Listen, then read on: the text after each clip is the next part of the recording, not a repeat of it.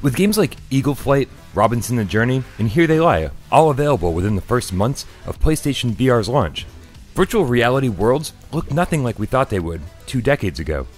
I figured when we finally got affordable VR helmets in our living rooms, everything would look reminiscent of movies like Tron, with simple geometry and even simpler gameplay.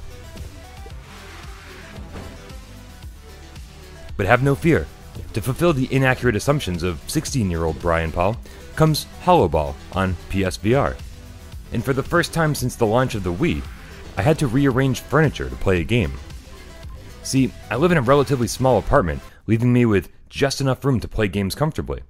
But HoloBall requires about 8 square feet of space to play, roughly two more than I had in every direction. But with a little determination, I managed to create enough space and give HoloBall a fair shake. HoloBall, for all intents and purposes, is VR racquetball.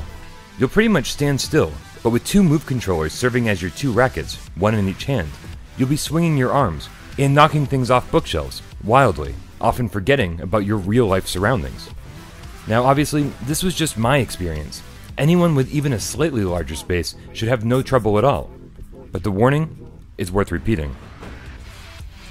And outside of that, HoloBall is a fun experience. You hit the ball, the AI hits it back. It's simple, it's fun. And allowing a second player to take control of the AI paddle using the PSVR social screen might be a stroke of genius, keeping this primarily single player experience from being too isolating. And the clean 80s version of the future really works here.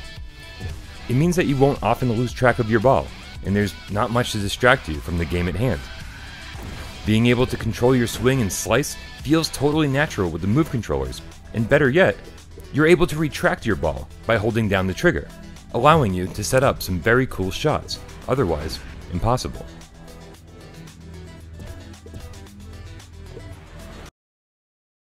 HoloBall isn't super long. You can probably blast through the campaign's four difficulty modes in an hour or two.